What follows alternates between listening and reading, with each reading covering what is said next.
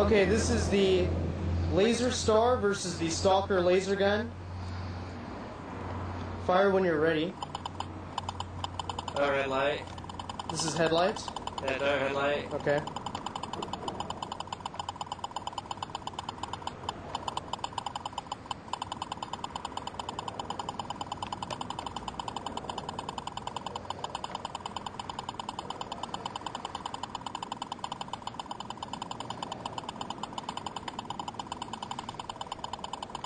Still driver headlight. Yeah, driver headlight, EO4s.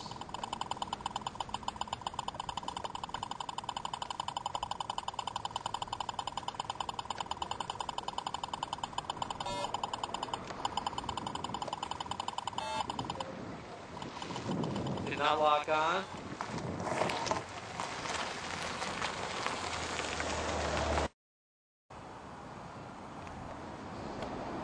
Okay, this is the Stalker laser gun versus the Laser Star laser jammer.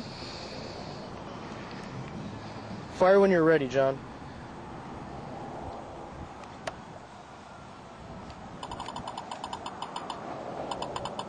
What are you aiming at? Driver headlight.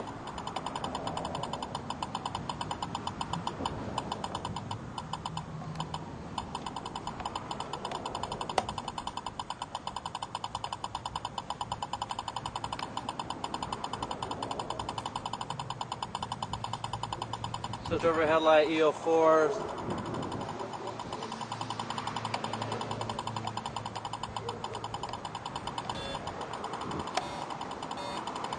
Not locking on, not locking on.